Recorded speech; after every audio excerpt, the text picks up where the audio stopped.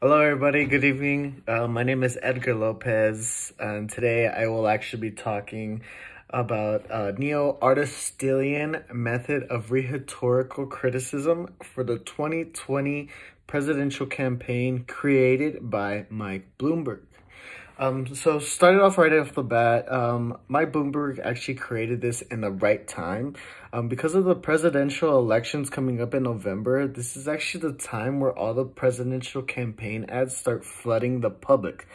So actually, um, considering why this is being motivated by Mike Bloomberg is one, is for politics, two is for finance, and three is for media um, media media persuas- persuasiveness.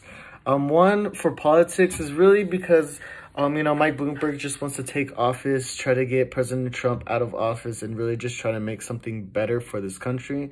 Um, really be a big win for the Democratic Party finance you know finance is is a really big important role in the presidential campaigns especially for all these candidates. You know the more money you have the more top dog and the more um, chances you have becoming a president nowadays unfortunately. Um, mike bloomberg actually um, has hit the hit the record of putting the most money into a presidential campaign ever. Um, I know Trump in his last election was actually, uh, that was one of the factors on why he got presidency. Um, the next is really um, media pressure. Uh, one important one because, you know, there's a lot of talk about candidates saying, you know, something that could potentially make or break an opposing candidate or even for themselves. Um, Mike Bloomberg is really just trying to send an emotional message to the American people that he can do better than what Trump is doing. Um, Bloomberg is also trying to send a message to Trump and to their administration that they're everybody's watching. The you know the whole United States is watching. Any move can really make or break another presidency. Um, really, the invention towards this video was very emotional. The first five seconds of the video was show how, you know, being a president for, for Trump was angry, out of control. You know, we really don't, really don't need him. Um, it was arranged into building a not so good image for Trump. Then at the end started building up an image for Bloomberg that he can actually do better for the people.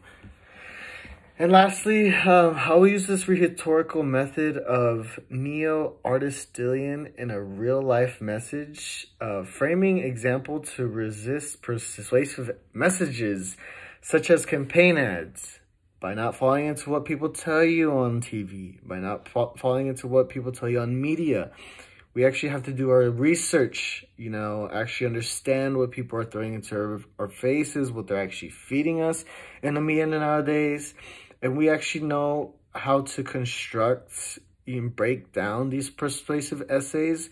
So we actually understand that we're being persuaded into something you know persuaded into voting someone. Um really everything in this in america at least is persuasive.